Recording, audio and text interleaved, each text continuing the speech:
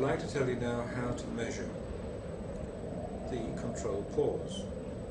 Now the control pause was Buteyko's way of measuring your rate of breathing and it also correlated with the amount of carbon dioxide in the lungs.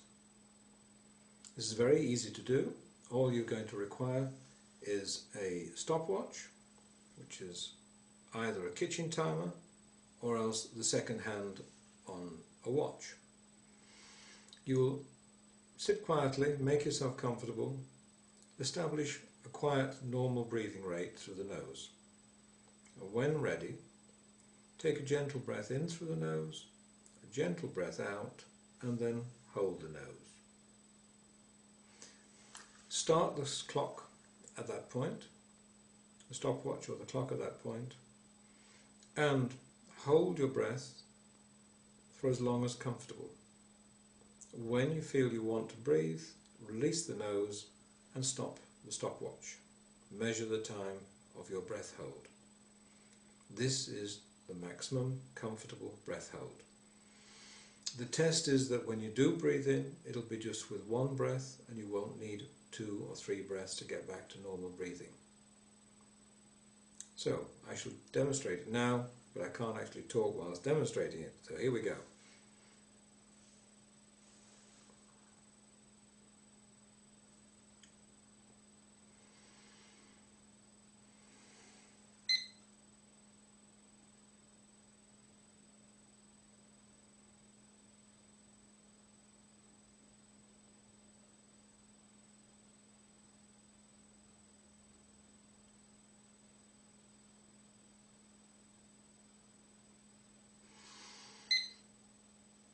Now I purposely release there fairly early. Most people, if they have a breathing problem, will find the measure will be 20 seconds or under. Practically every asthmatic will have a control pause to start with of 15, 12 or even 10. When you're breathing healthily and correctly, this measure, this control pause, will rise above 20 into the 30s 40s, 50s and even higher. But it will, if done correctly, always give you a good measure and a fairly accurate measure of your rate of breathing. And for asthmatics this is very important. It also indicates how ill, how well, well or how ill they are at any stage from day to day and at any time during the day.